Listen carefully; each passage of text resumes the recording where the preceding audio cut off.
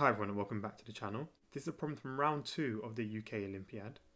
Pause the video if you want to give this problem a go and when you're ready we'll go through the solution.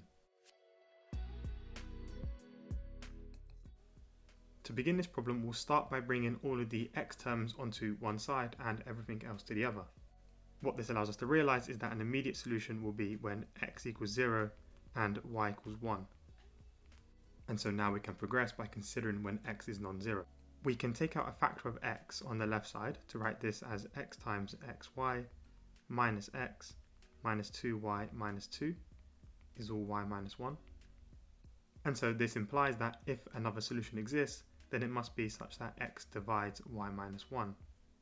We can continue factorising the left side further by writing this as x times x minus 2 times y minus 1 and then all take away 4.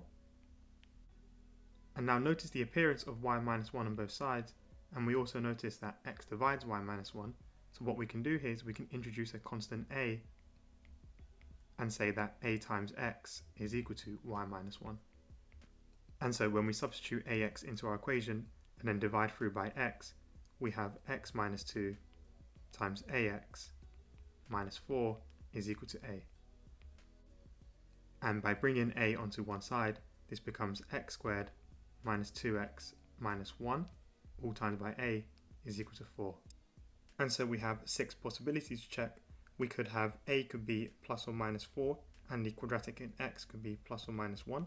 Or this could be plus and minus 2 and plus and minus 2, or plus and minus 1 and plus or minus 4. Now, solving these one at a time, when a equals 4, we have no solution. When a equals minus 4, we have x equal to 0 or x equal to 2. And subbing this in for y, we would have y equal to 1 or y equal to minus 7. In the case where a equals 2, we can have x equal to 3 or x equal to minus 1. And this leads to y equal to 7 or y equal to minus 1. And in the case where a equals minus 2, we have just x equal to 1, and so y is equal to minus 1. In the final two cases where a is plus or minus 1, we have no solution.